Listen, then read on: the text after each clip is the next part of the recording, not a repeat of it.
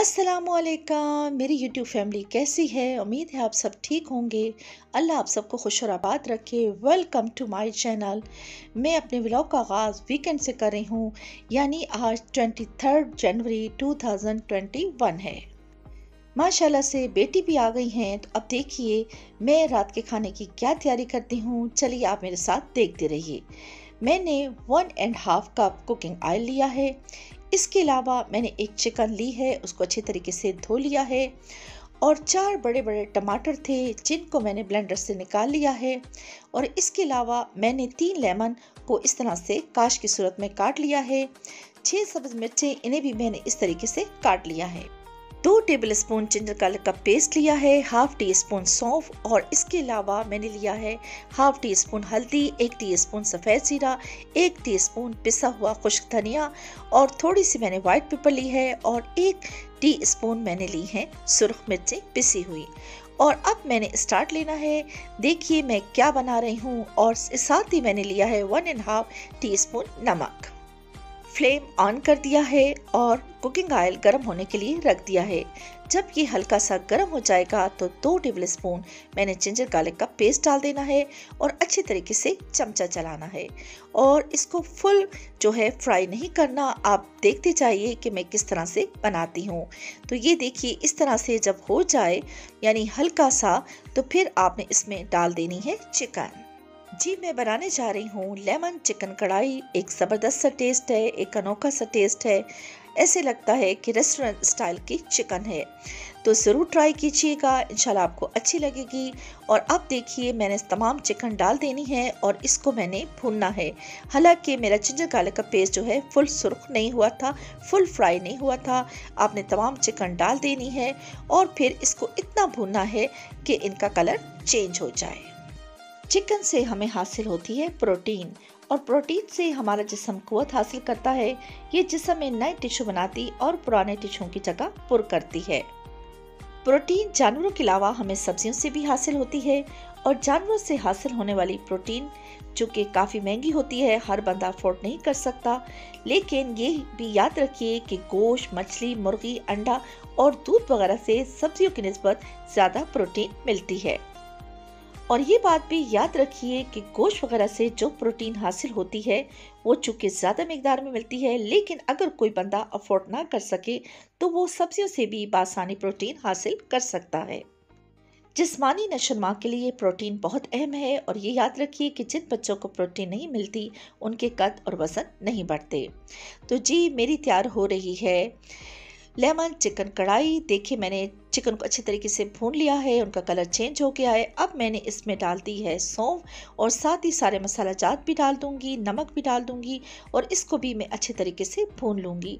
तो देखते जाइए, बहुत आसान सी रेसिपी है, लेकिन बहुत ज़बरदस्त, एक अनोखा सा टेस्ट आपको मिलेगा, इसलिए ज़रूर ट्राई कीजिएगा। तो अच्छा हम बात कर रहे थे प्रोटीन के बारे में। प्रोटीन जिसम में शक्कर को मुतनासिब दर्जा पर कायम रखती है, इससे सेहत ठीक रहती है। जो भी गजा खाते हैं, गजा में प्रोटीन को अव्वल मकाम हासिल है और ये हर उम्र के लिए लाजमी है।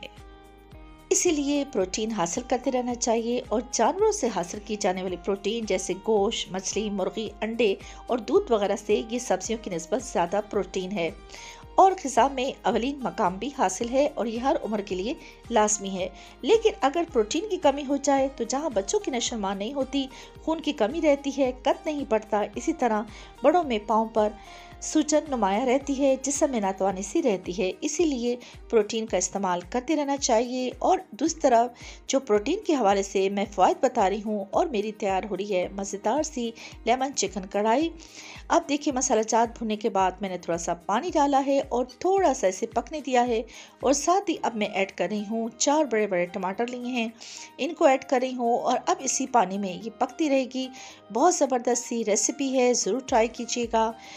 अच्छा मैं तैयार कर रही हूँ चिकन, लेमन चिकन कढ़ाई और ये प्रोटीन हासिल करने का एक वाफिर ज़रिया है। अभी मैंने आपको बताया है कि प्रोटीन ज़रूर हासिल करते रहना चाहिए, क्योंकि इसे ख़ज़ा में अवलीन मकाम हासिल है और ये हर उम्र के लिए लाजमी है, चाहे आप बच्चे हैं, चाहे बूढ़े हैं, चाहे बच्चे हैं। पानी वगैरह खुश्क हो चुका है, टमाटर भी अच्छे तरीके से पक चुके हैं। अब मैंने इसको अच्छे से भूनना है। अगर आप पसंद करें तो देसी मुर्गी भी खा सकते हैं। लेकिन याद रखें कि ये गोश्त जल्दी गल जाता है, जल्दी हजम होता है, इससे भूख लगती है और जिसम में ताकत आती है। और चूजे की यखनी पी जाए तो बहुत ताकत आती है। अच्छा मेरी मज़ेदार सी हो रही है लेमन चिकन कढ़ाई। अब इसको मैं अच्छे से भून रही हूँ और अब मैंने ऐड करना है लेमन क्योंकि लेमन चिकन कढ़ाई है और साथ ही मैंने ऐड करनी है सब्ज़ मिर्चें और फिर मैंने इसको रखना है दम पे। दम पे रखूँगी, बस ये तकरीबन रेडी है। बहुत ज़बरदस्ती एक अनोखा सा टेस्ट मिलेगा आपको। तो इसीलिए आप इसे ट्राई कीजिए। अब मैं थोड़ा सा पानी ऐड कर रही हूँ और इसे पाँच छः मिनट दम पे रखूँगी और फिर मैं डिश आउट करके आपको दिखाती हूँ। लेमन भी ऐड कर दिए सब्ज मिर्चें भी ऐड कर दी हैं और थोड़ा सा मैंने पानी डाल दिया है, अब इसे मैं पाँच छः मिनट दम के लिए रखूँगी। और ये देखिए पाँच छः मिनट के बाद आप देखिए बबल बनने लगे हैं कुकिंग ऑयल ऊपर आ चुका है। इसका मतलब है कि ये जो है रेडी है। रेडी है तो मैं इसे डिश आउट करके आपको दिखाती हूँ। और चूँकि इसमें लेमन यूज़ हुए हैं तो देखिए लेमन इसमें गल चुके हैं। इसी वजह से बहुत ज़बरदस्त सा खट्टा खट्टा सा टेस्ट आता है, जिससे ये बहुत अच्छी लगती है। तो मज़ेदार सी लेमन चिकन कढ़ाई रेडी है और आप भी ज़रूर इसे ट्राई कीजिएगा। एक ज़बरदस्त सी रेसिपी आपके साथ मैंने शेयर की है। अब मीठे की तरफ़ मैं जाती हूँ। मीठे में क्या बना रही हूँ, ये भी आप मेरे साथ देखते रहिए। इंशाल्लाह मीठे की रेसिपी भी आपको बहुत ज़्यादा पसंद आएगी। तो ये देखिए लेमन चिकन कढ़ाई तो रेडी हो चुकी है। अब देखिए मैं मीठे में क्या बनाने वाली हूँ। जी, चूँकि मुझे पता था कि वीकेंड पे मेरी बेटी आएगी, इसीलिए मैंने एक दिन पहले ये सारे बादाम जो हैं पानी में भिगो दिए थे और इनको एक साइड पे रख दिया था। अब इन सारे बादाम को मैंने पील ऑफ़ कर लिया है और अब देखिए मैं क्या बनाने वाली हूँ और मुझे किन अशा की ज़रूरत है। मैंने एक बड़ा भरा हुआ बाउल बादाम जो है इन्हें पील ऑफ़ कर लिया है और जितने बादाम लिए हैं, इतना ही मैंने फ्रेश मिल्क लिया है और हाफ़ बाउल मैंने नीडो का ड्राई मिल्क लिया है और चीनी मैंने छोटा बाउल ली है और हाफ़ टी स्पून मैंने इलायची ली है। इसके अलावा मुझे देसी घी भी चाहिए होगा और बटर भी चाहिए होगा। जो भी आप बटर लेना चाहें, लेकिन मैं मिल्क पैक का बटर यूज़ कर रही हूँ। अब मैंने क्या करना है?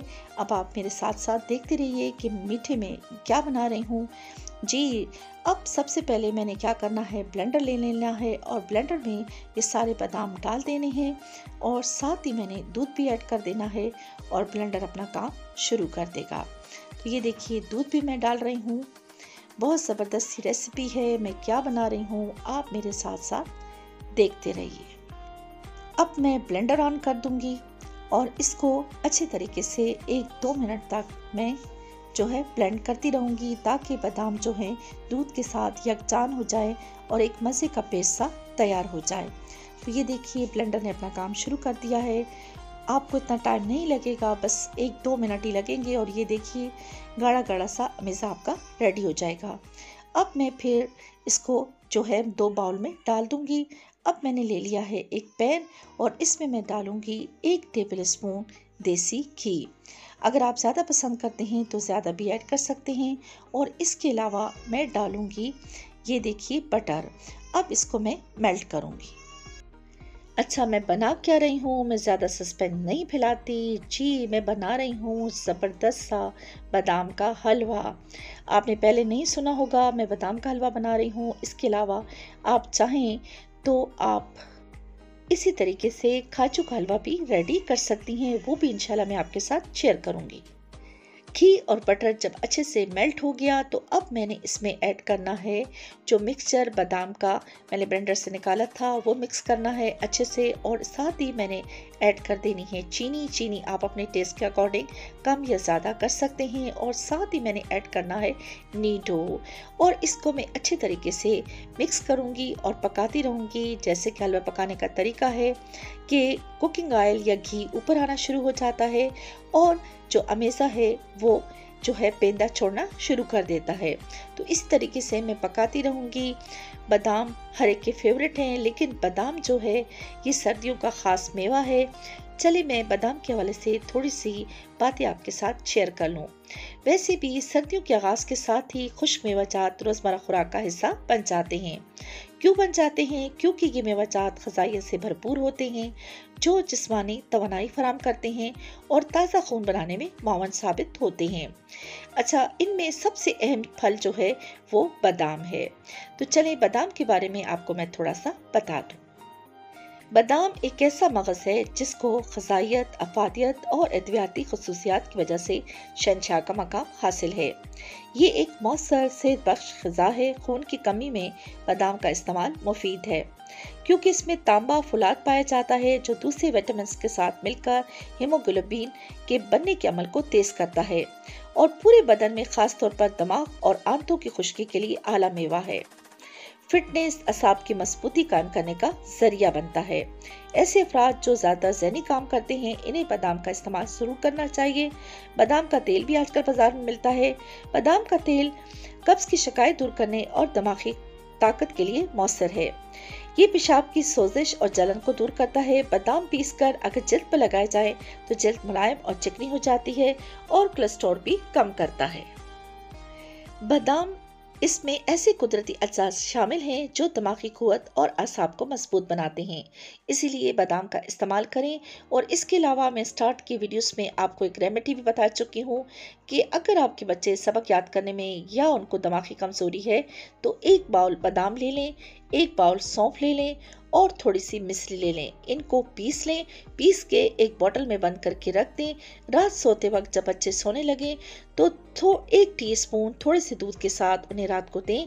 इससे जो होगा, उनकी दिमागी कमज़ोरी दूर होगी, क्योंकि बादाम में ऐसे कुदरती अज्जा शामिल हैं, जो दिमागी कुत और असाब को मज़बूत बनाते हैं।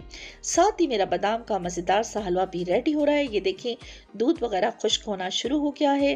अब थिकनेस इसमें आ गई है। अभी मैं इसको मज़ीद पकाऊँगी और फिर आपको डिश आउट करके दिखाऊँगी। देखिए, आपको मैं दिखाती हूँ कि किस तरह से इसमें से घी भी निकल आता है और ये किस तरह से जो मिक्सचर है, पेंदा छोड़ देता है। तो आप मेरे साथ साथ देखते रहिए। अगर आप बादाम नहीं खाते या आपके बच्चे बादाम खाने में नखरे करते हैं तो ज़रूर इस तरीके से बादाम का हलवा बना कर दें, क्योंकि खून की कमी दूर करने में भी बादाम का इस्तेमाल बहुत मुफीद है। इसके अलावा ऐसे कुदरती अज्जा पाए जाते हैं जो दिमागी कुत और असाब को मज़बूत बनाते हैं। ये दिमाग को कुत देते हैं तरावट पैदा करते हैं बेकाबी दायमी नज़र ज़ुकाम और खुश खांसी को भी रफा कर सकते हैं। तो ये देखिए, मज़ेदार सा बादाम का हलवा रेडी हो रहा है, बहुत ज़बरदस्त, ज़रूर ट्राई कीजिएगा, इससे पहले कि सर्दी चली जाए। गर्मी में भी इंजॉय कर सकते हैं, लेकिन सर्दी में हलवा वगैरह ऐसी चीज़ें बहुत अच्छी लगती हैं। तो मज़ेदार सा मेरा बादाम का हलवा रेडी हो रहा है। ये देखिए थिकनेस आ गई है और आप देखते जाइए कि बिल्कुल हलवे की तरह हो रहा है और घी निकलना भी शुरू हो गया। ये मैं आपको दिखा रही हूँ और इसने पेंदे को भी छोड़ना शुरू कर दिया है। अच्छा इसके साथ साथ आप सबसे रिक्वेस्ट है कि प्लीज़ मेरे चैनल को सब्सक्राइब करें। ये सिर्फ़ मोटिवेशनल फैक्टर है। इससे हमारी हौसला अफजाई होती है, इसलिए हमारी हौसला अफजाई कीजिए ताकि हम वीडियो बनाते रहें और साथ ही साथ बेल आइकॉन को भी प्रेस कीजिएगा ताकि मेरी नई आने वाली वीडियो का नोटिफिकेशन मिलता रहे।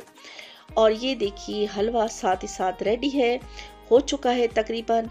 ये देखिए बिल्कुल बस रेडी होने के करीब है, मैं थोड़ा सा और पकाऊँगी और फिर इसके बाद फ्लेम बंद कर दूँगी और आपको मैं डिश आउट करके दिखाऊँगी। ये देखिए हलवा कितना मज़े का रेडी हो चुका है। ज़बरदस्त सी रेसिपी है, इसलिए इसको ज़रूर ट्राई कीजिएगा।